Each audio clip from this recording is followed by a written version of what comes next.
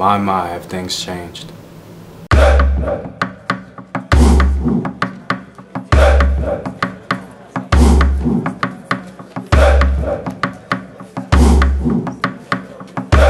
What up African world, it's your boy Home Team here. I'm back at it with another video of African history, culture, and worldview. Today I want to talk about this ancient universal love for Ethiopians. Now in this video I'm going to be talking about modern day Ethiopians and the ancient term Ethiopian, which referred to black people as a whole. More immediately Sudanese people or Nubian people. And no, I haven't forgotten about your Ethiopia.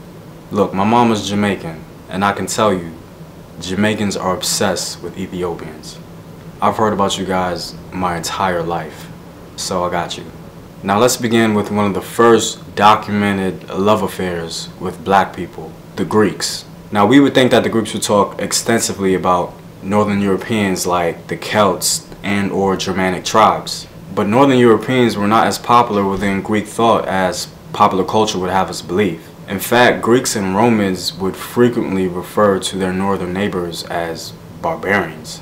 Granted, it was because the Greeks were largely ethnocentric, but also because they simply didn't see the Celts and Germanic peoples as civilized people.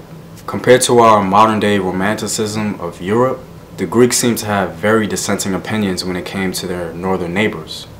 One of the reasons why I like ancient Greece so much, mostly the intellectual Greek society, because the average Greek was blissfully unaware of what was going on in the scholarly community.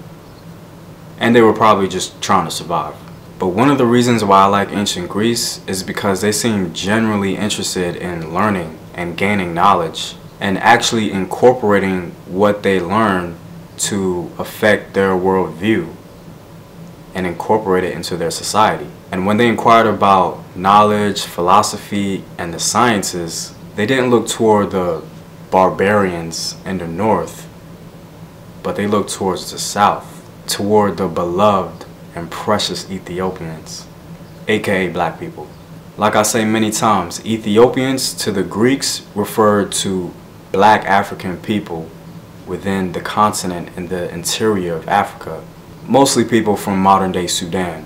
Look, there's just no other way around it. Greek scholars and writers love black people and they credited them with being the originators of humanity and civilization.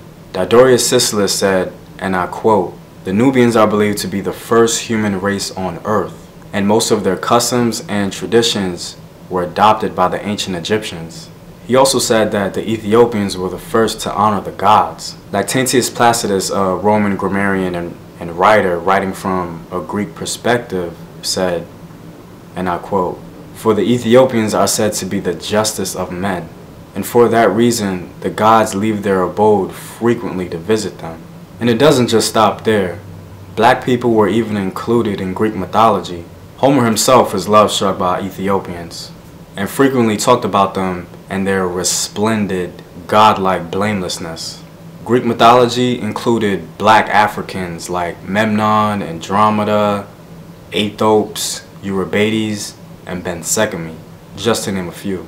Like I said before, Poseidon himself had that jungle fever, and he would frequently visit Ethiopia. When it came to beauty, civilization, and the overall respect of our humanity, the Greeks were the first to give black people credit. But most black people today have no idea that the Greeks had an obsession with them. And our understanding of Greek culture and Greek life stems largely from a culture that is vehemently opposed to that reality. Another love affair with African people relates more so with modern day Ethiopia. Most people don't know who Prester John is today, but from the 12th to the 17th century, Europeans were obsessed with this dude. Now around this time, Christian Europeans were fighting against Muslims in the Middle East, and they were really looking for an outside ally outside of Europe that would kind of help them out in this holy war that they were having they were extremely desperate to find a Christian ally outside of Europe. So when a rumor surfaced about this Christian king that was fighting the Muslims outside of Europe, they jumped on it.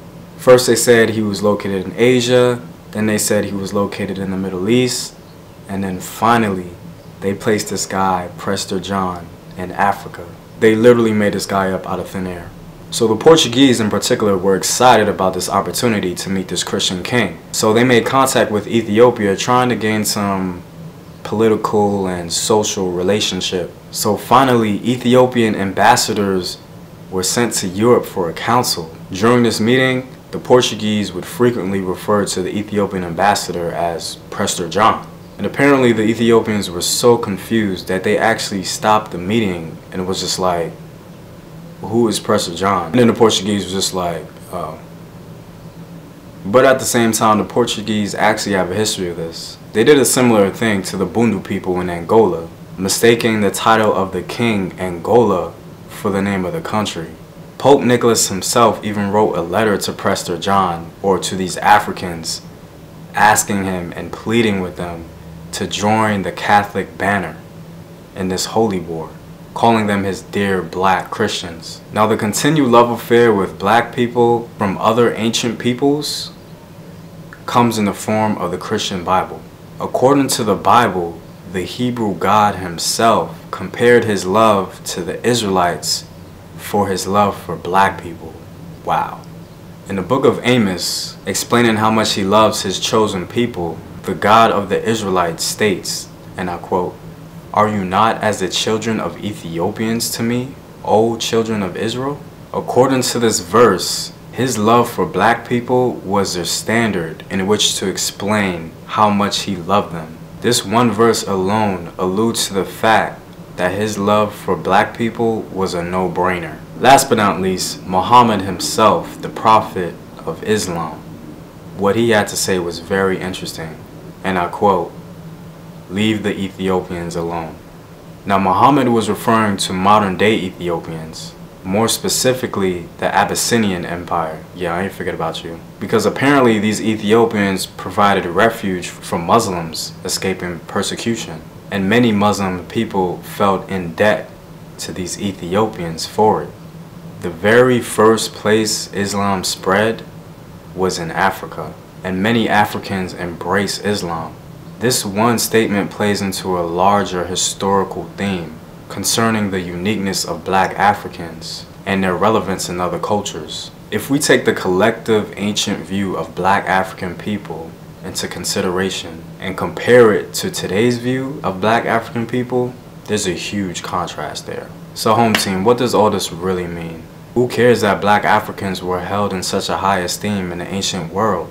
What does that mean for us today? Well, evidently popular opinion can change very swiftly throughout the course of time. And if this ancient model of the beloved, resplendent, blamelessly godlike Ethiopian can be abandoned and exchanged for the despised, lowly, savagely blameworthy Negro, then who's to say that we can't change the meaning of black again? Our agency in this world is not limited to how we are viewed nor is it dependent on our denigrated image. We must become the masters of our own story. It's your boy Elm saying, know thyself, remember your ancestors. Peace.